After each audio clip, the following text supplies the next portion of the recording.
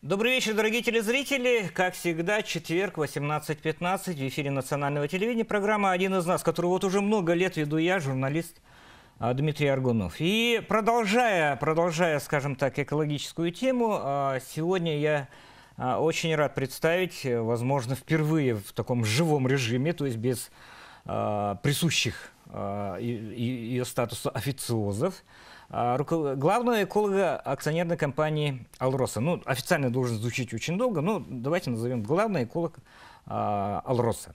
А, Полина Анисимова. Добрый вечер, Полина. Здравствуйте, Дмитрий. Я к чему? Мы, давайте для начала минуточку такое лирическое отступление. Да? Мы всегда говорим об Алроса как о некой очень такой могущественной структуре, которая где-то существует где-то там э, в западных районах и так далее. Напрочь забывая о том, что это и республиканская компания тоже. Мы э, имеем, скажем так, долю собственности в компании и, э, соответственно, не можем разграничивать как-то. Вот, а там такие же якутяне, как и, как и везде, как и в центральных улусах, в северных улусах и так далее. Вот с этой позиции давайте как э, якутянин с якутянином мы поговорим. Вот, вот это главная установка а, на сегодняшний день. Согласны с этим? Давайте. Хорошо.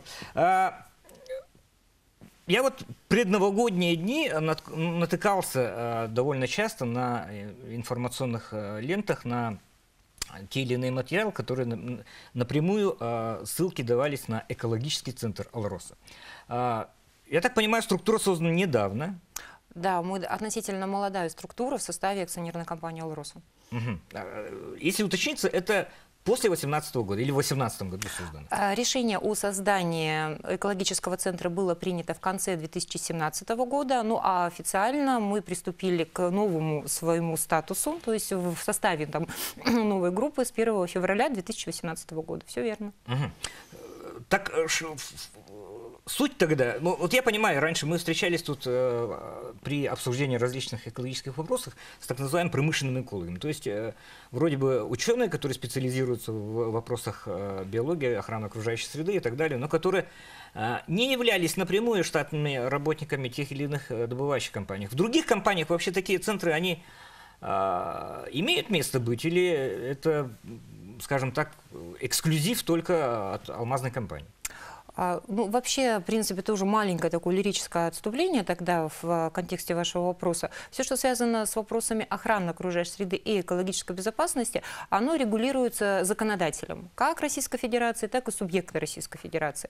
Поэтому у любого хозяйствующего субъекта, ну, то есть, если говорить своим языком, у любого предприятия, организации, компании, неважно, государственного она там статуса, либо там открытое, закрытое там юридическое лицо, а, в составе, в структуре в штате должны быть экологи.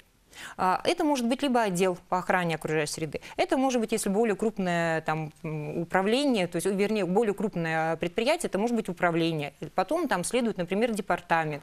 А, Алроса пошла дальше, выше, и э, вот было принято решение как раз о создании самостоятельной бизнес-единицы в составе группы, ну, в составе акционерной компании Алроса об экологическом центре.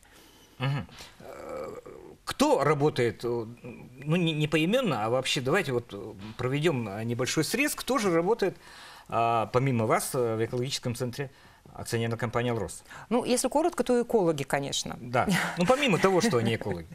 А, да, когда было принято решение о создании экологического центра, мы понимали, что в разных структурных подразделениях компании уже вот как раз где-то отдел есть охрана окружающей среды, где-то есть просто штатные единицы, ну, например, инженер-эколог, либо точно так же заместитель главного инженера по вопросам экологии, там, ну, например, Нюрнбергского горно-обогатительного комбината. Они все существовали, а каждый в своем, так, ну, условно, микромире, да, и и заботились то есть, там, о текущих вопросах, проблемах вот своего микромира. А создание экологического центра как раз и было направлено на вот эту централизацию. Поэтому все экологи со всех структурных подразделений, неважно, инженер он был, ведущий, главный, там, самый главный, то есть, они были переведены а, именно в состав экологического центра. И э, после того, как мы утвердили штатное расписание, мы поняли, да, кого нам не хватает, по каким направлениям, и тогда уже был дополнительный прием из сотрудников извне. Извне.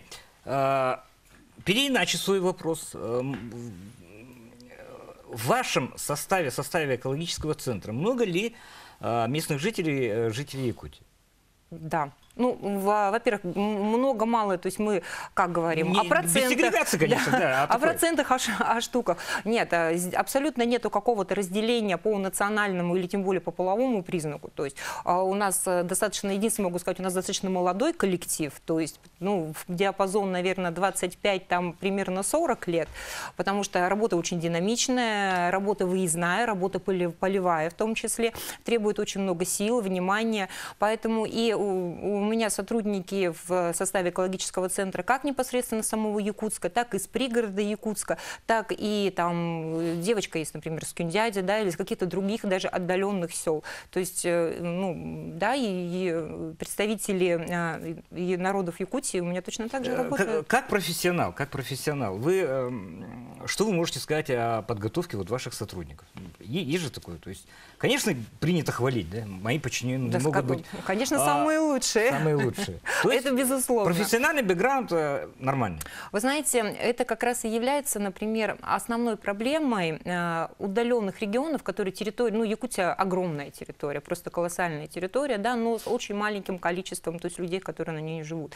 И, конечно, то есть там возможность выбрать профессионалов, то есть здесь, наверное, так не стоит. Но что, например, меня радовало, что когда к нам присылают э, те или иные резюме, мы, конечно, делаем, то есть приоритетность на местные кадры, на местных представителей, а абсолютно конкурентные, то есть там, ну, соответствие. Нету там разделения, что у кого-то там больше, например, там профессиональных данных, у кого-то меньше профессиональных данных. Подготовка сильная, то есть подготовка профессиональная. Единственным условием, которое, например, я как руководитель экологического центра устанавливаю, это, конечно, наличие все-таки профильного образования. Ну, наверное, пускай сапожник занимается портным делом, да, а эколог должен заниматься все-таки вопросами Сог- экологии. Согласен. Все-таки вот по одежке вроде встречают, то есть по диплому встречают, да. А давайте мы поговорим о тех вещах, которые вот, ну, являются непосредственным критерием вашей деятельности. Вот как- анализ деятельности экологического центра за прошедший вот 19 год. Давайте попробуем. Какие крупные достижения, какие крупные а, проекты были реализованы а, сотрудниками экологического центра в 19 конкретно году? Ну, если мы говорим о, о прям крупных проектах, да, Ну, можно и, а, а, любое. Вообще направление деятельности экологического центра в 2019 году.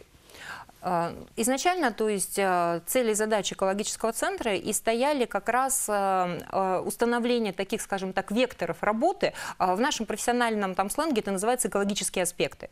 То есть мы работаем по направлениям блок воздух, сохранение климата, то есть это в том числе вопросы парниковых газов.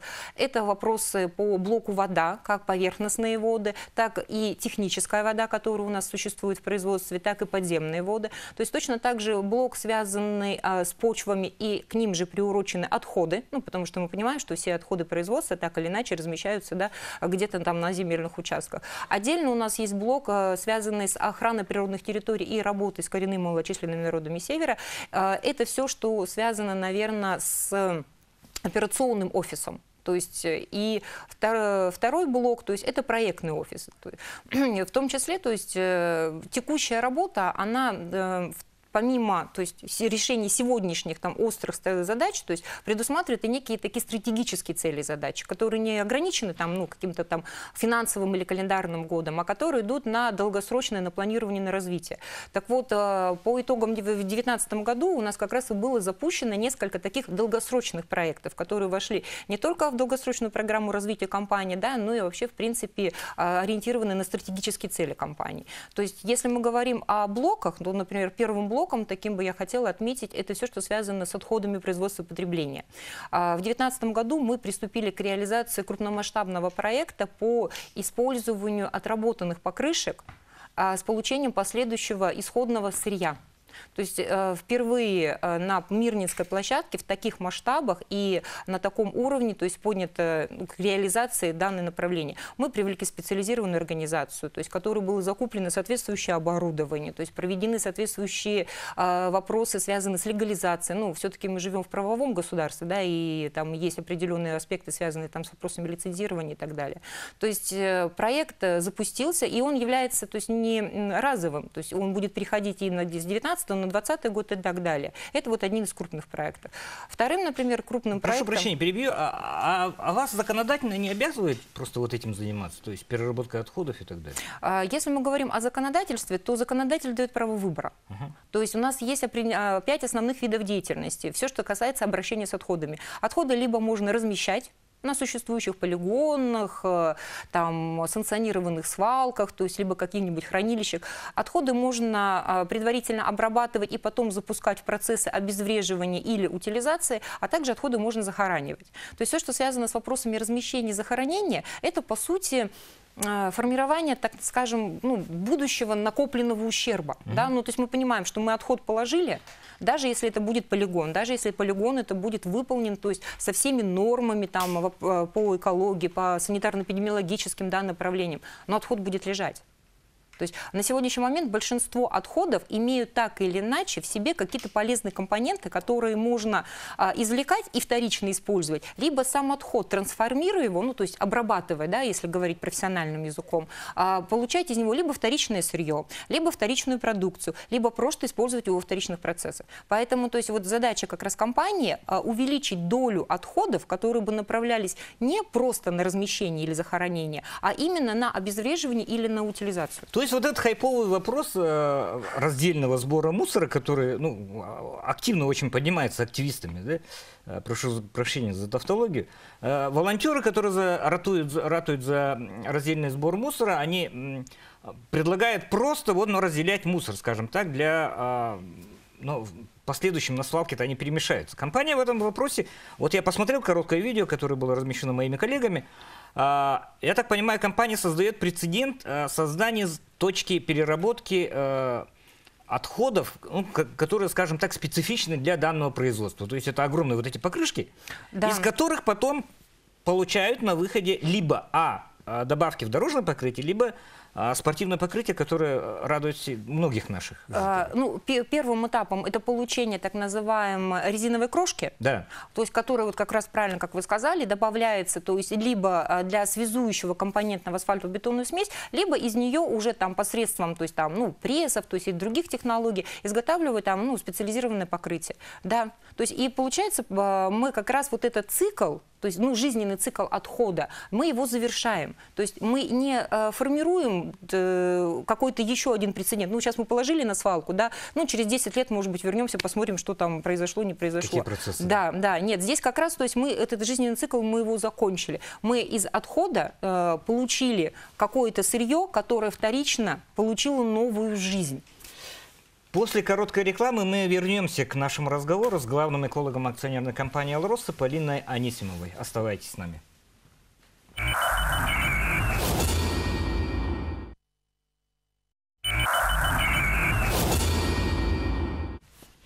Мы продолжаем а, программу «Один из нас». Сегодня «Один из нас» – это главный эколог акционерной компании «Алрос», которая наша все республиканская, а, замечательная компания на самом деле, а, которая, ну, прежде всего, как женщине, да?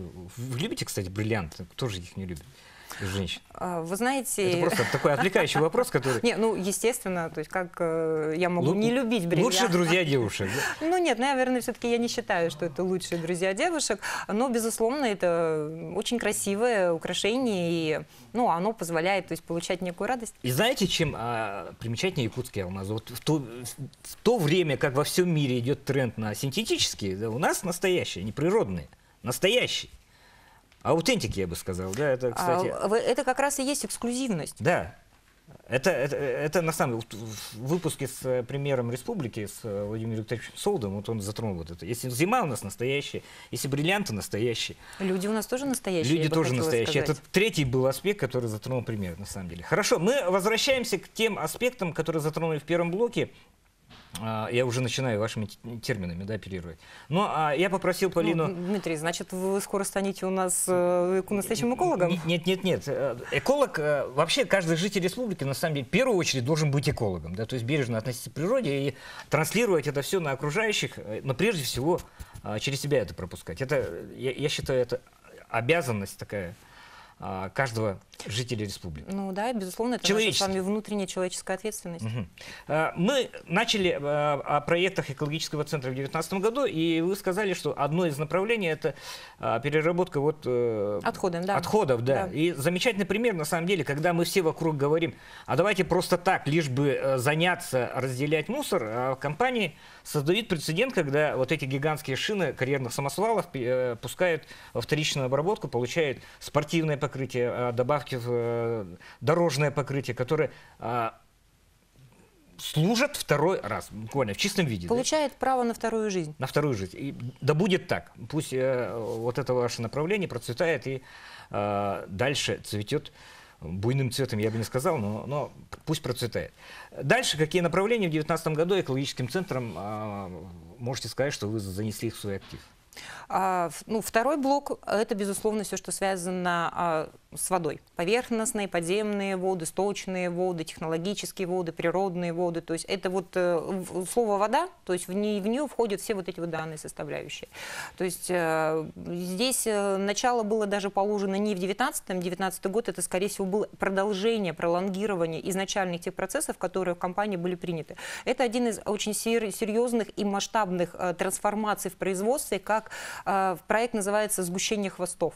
Ну, то есть, э, так или иначе, каждый, наверное, там, житель Якутии уже примерно понимает, что такое там, обогатительные фабрики, что такое хвостохранилище. Визуально мы очень часто видим различные э, картинки, то есть в тех или иных средствах массовой информации. Так вот, для того, чтобы сократить тот объем э, хвостов, которые направляются с обогатительной фабрики на хвостохранилище, то есть и внедряется проект по э, сгущению. Что это, по сути, если коротко о главном? То есть хвосты имеют в своем составе твердую фракцию и жидкую фракцию. Так вот, это эта жидкая фракция, она э, кардинально, ну, даже в множественном количестве она сокращается, то есть вода отправляется на повторное использование, а вот эта уже твердая сгущенная масса отправляется уже на хвостохранилище. Мы э, сокращаем, то есть массу размещаемых в хвостах э, там, отходов, мы сокращаем площадь, которая там необходима в случае расширения хвостохранилища, и мы увеличиваем э, вторичный, то есть оборот воды на обогатительной фабрике. То есть это вот один из тех проектов, который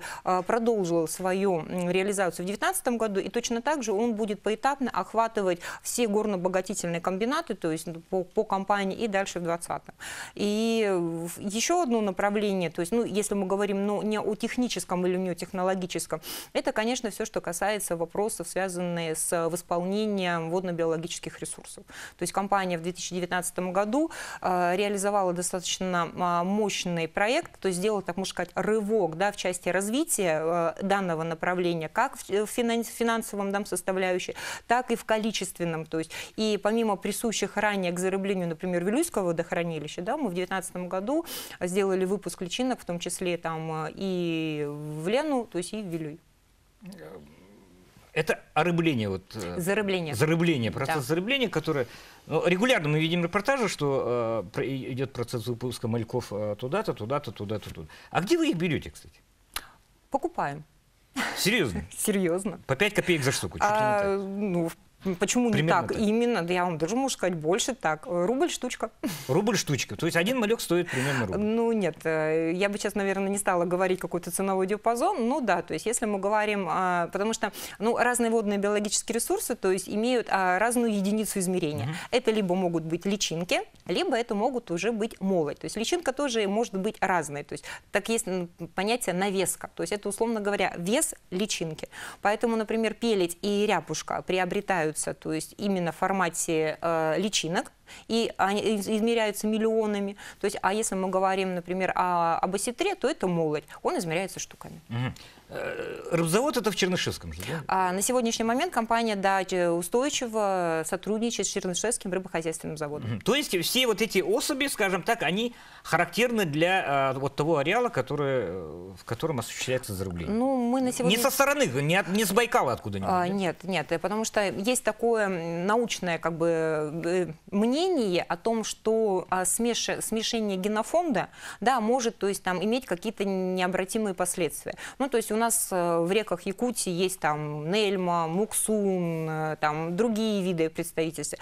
Если мы, то есть, ну, Нельма, Муксун не являются уникальными, да, там видами рыб, то есть и они есть в Аби, например. Но если брать, например, обскую популяцию, то есть именно из реки Аби, а, не факт, что она качественно приживется, то есть в якутских реках. Поэтому на сегодняшний момент вот для того, чтобы не создавать вот этой вот какой-то а, угрозы конфликта, то есть компания работает именно с э, якутскими то есть, заводами. Угу. А, насчет воды. Все-таки не могу не задать этот вопрос, наверное. Вот э, речь э, касается о наращивании усилий э, компании по строительству водоочистных сооружений. Да? Если вы, как э, главный эколог компании, говорите, что э, э, после определенных событий там все пришло в норму и так далее, но природные процессы взяли свое, а зачем тогда нужны, в принципе, вот эти очистные сооружения вообще? Так, Тогда здесь, наверное, для того, чтобы я могла качественно ответить на ваш вопрос, стоит, наверное, тоже немножечко э, углубиться в такой э, легкий курс э, вопросов там экологии, там качества, качества там Да легко, грузите меня новой информацией, я рад. Ну, я рада, что вы открыты к этой информации. Ну, во-первых, нужно изначально сразу понимать, что любой водный объект, река, озеро, даже, то есть если мы говорим с вами о болоте, э, море, океан, имеет э, свой химический состав. То есть вода не является нейтральной. Ну, то есть вы помните, да, нам всем в школе говорили, вода не имеет ни вкуса, ни цвета, ни запаха. Это дистиллять не имеет. Вот, на сегодняшний момент, да, то есть я как профессионал говорю, нет, вода имеет вкус, потому что при высокой концентрации, например, железа в воде, да, то есть называются железистые воды, то есть мы будем чувствовать легкий металлический привкус у себя там на языке. А если в воде есть растворенный сероводород, и те люди, которые отдыхали где-то на кавказских источниках, помнят, да, что устойчивый запах э, тухлого яйца. То есть а, воды, насыщенные магнием, точно так же дают послевкусие. Наличие повышенного содержания органики дает изменение цвета и вот ну, такие, как мелкие микрочастички. Это естественное природное состояние любого водного объекта. Вода с нулевыми показателями даже из-под крана то течь не будет. Но при этом, то есть, это мы говорим о природе, то есть о ее естественном, то есть там годами, там столетиями сложившемся том каком-то фоне. Дополнительно, то есть у нас есть еще такое понимание, как э, там Роспотребнадзор, который регулирует качество той воды, которая, э, ну, разрешена, скажем так, хозяйственно-питьевому там снабжению. И вот здесь-то как раз разница между природными показателями и теми показателями, которые разрешены по санитарным нормам и правилам, они как раз и разные. Поэтому если мы с вами говорим, что мы сейчас э, придем там река Москва, река Нева, река Волга, э, река Обь, Енисей, Иртыш, Вилюй, Марха, то есть там любые другие акватории, у них везде будет разный химический состав, и этот состав в своем природном фоне, он не будет соответствовать вот этим концентрациям, которые разрешены Роспотребнадзором. Для чего нужны водяные, вот водно-очистные сооружения? То есть как раз для того, чтобы природную воду довести до того, до тех показателей, показатели, которые регламентированы на сегодняшний момент ну, соответствующими органами. Вот, вот, вот так развернуто, наверное, но я все-таки надеюсь, а, понятно. То есть э, любой водоем, э, любое, скажем, озеро, любая речка, любое э, требует для безопасного а, а, приема внутрь, наверное, воды, да? Э, я бы не сказала, очистки. Я не сказала бы этом ну, что вот прям вот, знаете, там жестко безопасного, да, угу. есть регламентируемые нормы. Ну, вот, например, у нас есть нормы правил дорожного движения, да, то есть а, стоит знак 60, но это же не означает, что вы не можете ехать 70. Нет, конечно. Да, то есть, ну... Пить можно, но... Нет, вот пить, кстати, не, категорически нельзя. Можно ехать 70, да, но закон устанавливает знак 60. То же самое, вот, например, может быть, не совсем удачный пример, но он хорошо иллюстрирует. То же самое в отношении воды. Пить можно, но закон рекомендует, чтобы, например, там, содержание там, определенных химических веществ, компонентов, органических показателей было вот на определенной планке. Поэтому, то есть, э, вот для этих целей, потому что все, э, все там... Э, юридические лица, которые так или иначе связаны с очистными сооружениями, вот у нас буквально сегодня было тоже одно из расширенных совещаний, то есть а, с тепловодоканалом, и с ПТВС, то есть там у нас в, мини, в Министерстве экологии мы проводили это собрание, то есть а, им регламентировано, что они воду потребителю, ну то есть вот нам с вами, мы с вами приходим домой, да, открываем кран, у нас мы понимаем, что у нас должна течь питьевая вода, так вот вот эта вода должна быть определенных показателей. Естественно, что то есть они воду забирают с поверхностных водных источников и очищают ее. К сожалению, то есть вот э, и, наверное, это самое страшное, что на сегодняшний момент а, большое количество районов, улусов, особенно отдаленных, не имеют даже в маленьких локальных а, ну, там, а, очистителей воды. То есть как и компания с этим столкнулась, да, там в прошлом году были проведены масштабные исследования, то есть в составе Министерства жилищно-коммунального хозяйства, Министерства экологии, компания проезжались полностью по всей группе улусов, вот по, по Вилюйскому региону.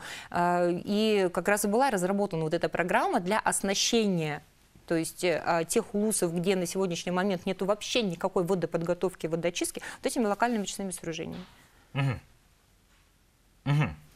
Ну, не сказать, чтобы загрузили, но в принципе... А, ну, есть о чем подумать, да? Да, есть о чем подумать. То есть, э, ну, в принципе, жизненная очень ситуация. Но а, давайте приведу пример. Да. Я иду по тайге, а, набираю пропущенную через мох воду, и она вся в взвесях, мутная такая и так далее, я пью. Ну, в принципе, вот это вот должно предварительно пройти очистку для того, чтобы я абсолютно безболезненно мог воспринять вот эту... Это вам рекомендует законодатель? Да, это рекомендует законодатель. А, как, а, как, а, а что рекомендуют биологи? Э, я предполагаю, что порекомендуют аналогично, потому аналогично. что, да, потому что, например, э, избыточное содержание тех или иных химических веществ, которые мы с вами потребляем, и не только с водой, да, то есть это может быть пища, то есть это может быть, скажем так, какие-то там другие вещи, а, оно же имеет свойство как бы, ну, как-то там накапливаться, аккумулироваться и так далее. Но точно так же, вот пример, э, вы идете по тайге, да, но вы из рюкзака достаете пакетик соком с яблочным, да, то есть который, то есть имеет там все соответствующие ГОСТы. Вот вот содержание, например, в нем железа будет 4 миллиграмма при э, допустимых 0,1. Давайте сразу после короткой рекламы мы вернемся к нашему, к нашему разговору, к завершающей части нашего разговора с Полиной Анисимовой, главным экологом акционерной компании «Алроса».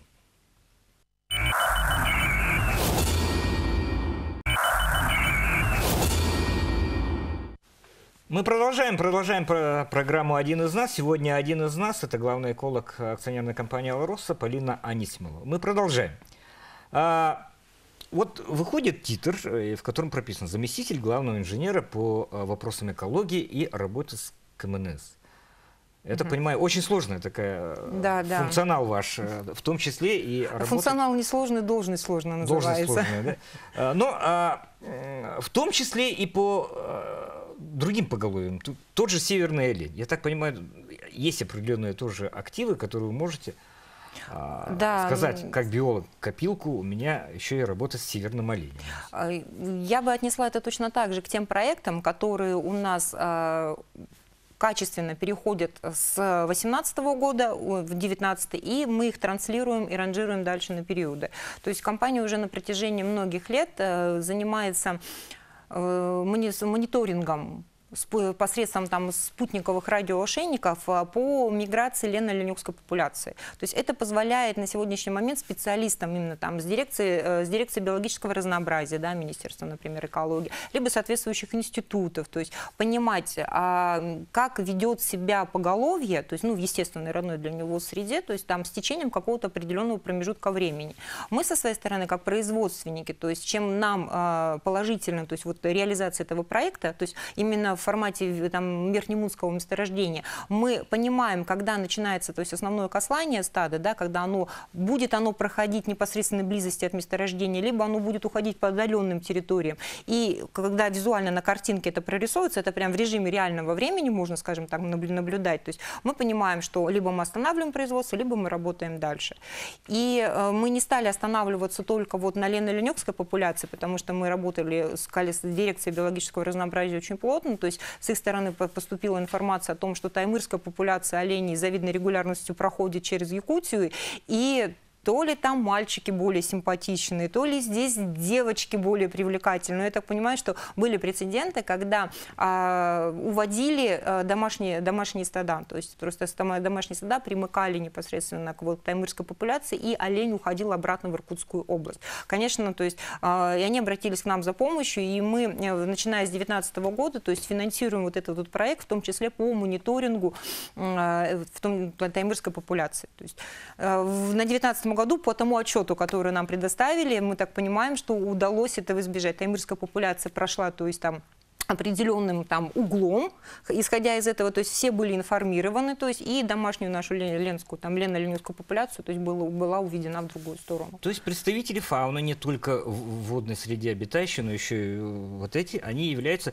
определенным индикатором а, деятельности всей компании в целом. А, вы знаете, то есть, ну, мы бы сказали, наверное, рост популяции, mm-hmm. то есть, потому что вот те авиаучеты, которые были выполнены в 2019 году, показали не, не только стабильный прирост, но и умножение данного прироста. Ну, мы понимаем, да, что, то есть, там а, количество, то есть, там поголовья, которое может дать, то есть, там потомство, это очень важно. То есть, исходя из этого, можно будет просчитывать, то есть, а как увеличится, то есть, поголовье, увеличится стадо. Так вот, на сегодняшний момент, то есть, впервые за достаточно продолжительный промежуток времени, а, то есть, охотоведы говорят прям там, знаете, с восторгом, там, с рукоплесканием о том, что да, а, идет динамика увеличения именно поголовья по дикому северному оленю. Угу. А соседи наши красноярцы, значит, они привлекательных мальчиков к нам выпускать. Ну, это так, к слову. Да, диверсия. Это, да, такая... Э, ты почему? Демография в разрезе, скажем ну, так, я сейчас говорю то есть, о том, о чем а, мы то есть, неоднократно разговаривали не только как с профессионалами, да, там, встречаясь на тех или иных площадках, потому что все, что касается там, мирской популяции, например, тут даже подключился Всемирный фонд дикой природы Российской Федерации. А, я сейчас говорю то, есть, то, что я слышала непосредственно, когда мы выезжали в те или иные районные улусы, то есть mm-hmm. вот от э, Э, людей, которые, ну, наверное, на протяжении всей своей жизни, а не только, то есть там, это, наверное, не их работа, это, наверное, по сути, их, в принципе, жизнь. Они живут, они этим дышат, то есть и для них это, безусловно, важно. И они вот говорили о своих вот проблемах. Пришло стадо, у меня там, там 100 голов увело. То, то есть надо что-то с этим делать.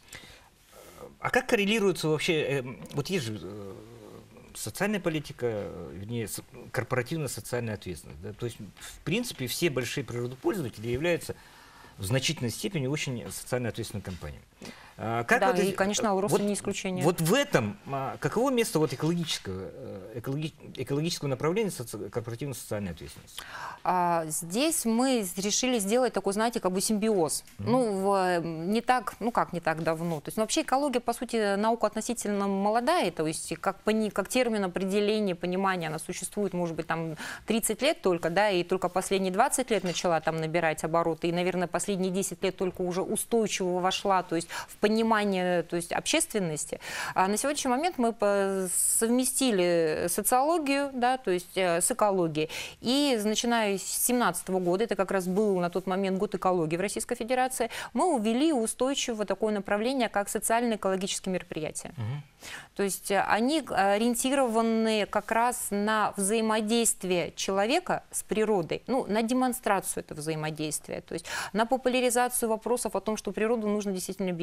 И мы своими различными мероприятиями, акциями, там, конкурсами, слетами, как раз э, в, работая с разными там, слоями населения, со школьными учреждениями, с дошкольными учреждениями, то есть мы как раз и пытаемся вот, ну, внедрить это в массы, наверное, привлечь как можно больше А со своими людей. работниками, то есть с работниками компании? Вы знаете, у нас, скажем так, э, все, что связано там, с экологическим центром, у нас у однозначно у всех профессиональная трансформация мозга, то есть, а в отношении то есть, непосредственно наших э, сотрудников, то есть, ну, там, с других структурных подразделений, mm-hmm. то есть, здесь это внедряется в безакцептном порядке. Потому что, то есть, помимо прочего, в составе экологического центра существует такое направление, как производственный экологический контроль.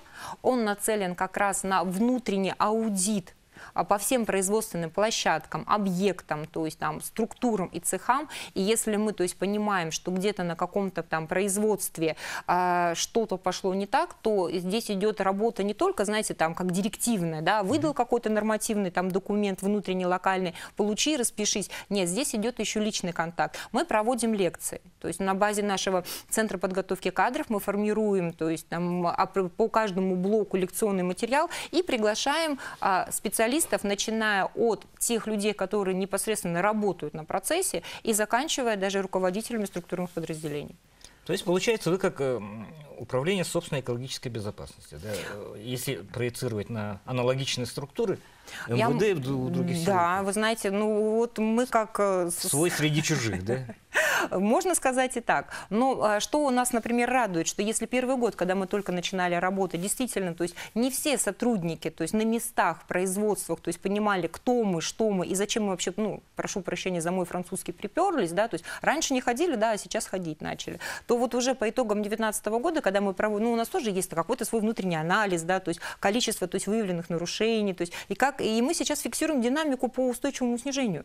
То есть если раньше, например, а, мы приходили на объекты, нам приходилось рассказывать, что такое селективный сбор отходов, а это именно, например, а, там ветошь и все, что связано с промасленными отходами, это отдельно. Все, что связано с твердыми бытовыми коммунальными отходами, это отдельно. Лампы люминесцентные, это отдельно. То сейчас мы даже имеем обратную связь. То есть когда что-то у них идет не так, нам либо пишут, то есть на наш, там, ну, на наш сайт, то есть там на наш портал экологического центра, либо в рабочем порядке задают вопросы, что девушки там, расскажите, а как правильно, а что нам нужно сделать, а что нам сделать еще, чтобы было лучше.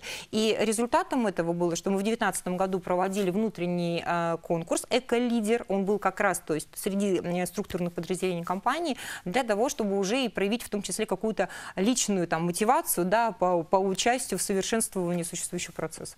Угу. Отлично. И напоследок такой личный очень вопрос, да, э, возможно, такой непривычный. А как вы относитесь к Грете Тунберг? У меня лично. Лично. Ваши личные отношения. Разделяете ли ее опасения? Считаете ли вы, что она права? У меня есть э, устойчивое понимание, и оно уже сформировано на протяжении долгих-долгих лет, а вопросами экологии я занимаюсь уже порядка 20 лет, что самое главное – это равновесие.